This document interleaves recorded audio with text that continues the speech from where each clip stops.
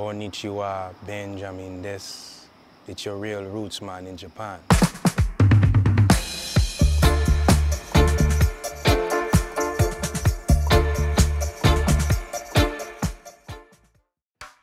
Today I'd like to talk about why I moved to Japan. Now, there are many reasons, but I'll cover some of them here. Uh, one of the first reasons was that I've always felt a connection to Japan since I was a child. You know, starting with the anime, then diving into reading about the culture, learning about the culture and the history. Uh, and I was just fascinated by the country, fascinated by the culture. One. Two, when I went to film school, I uh, studied films from all over the world. I'm a cinematographer and director.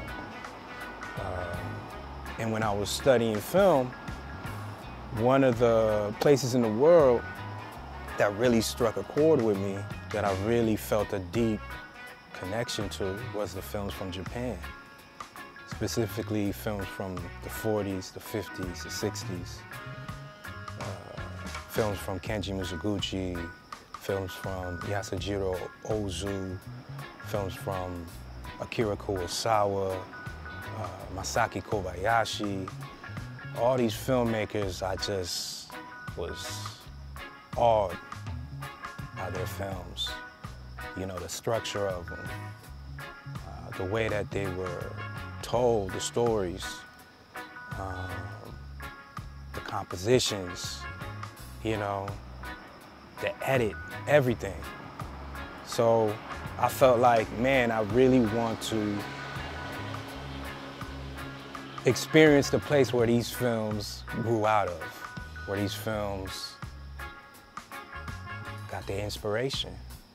Um, and then three, uh, I visited Japan back in 2017, and I spent almost a month here.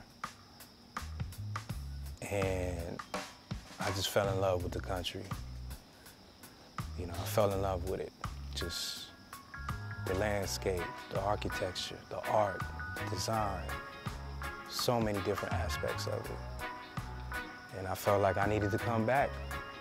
So five years later, here I am. You know, I just feel a vibrational difference from the US. In the US, I felt like a disharmony. I felt like I was losing artistic inspiration. I felt like I wanted to experience a different place, uh, different from the culture I'm used to, different from the lifestyle I'm used to. I feel like the US at times can be,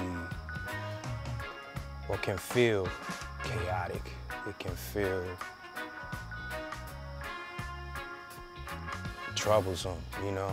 It can feel like folks really don't want to get along or want to find a balance.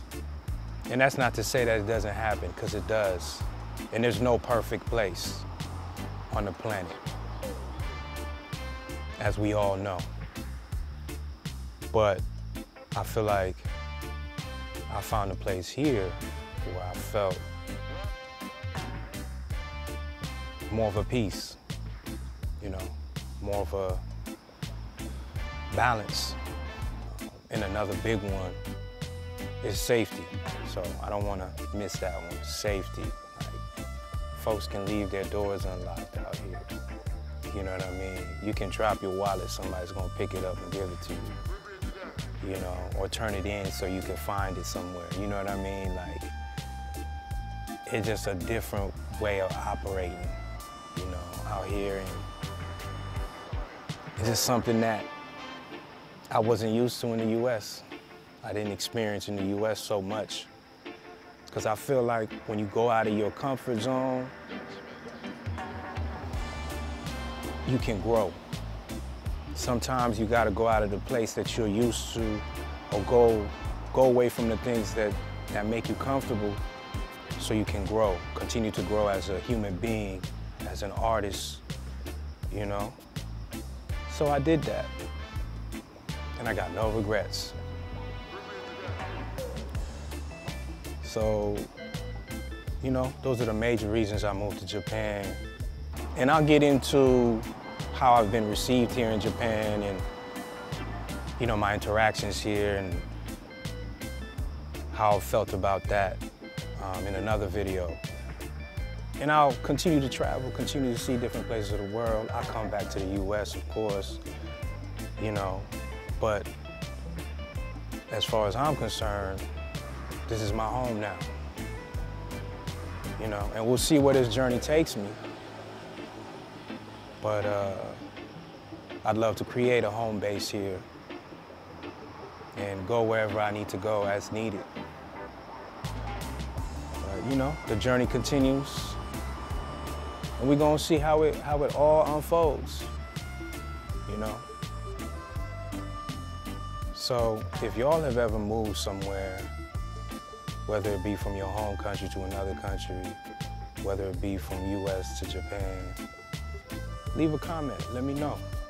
I'm curious to see what are the reasons, what motivated you, uh, and why, you know.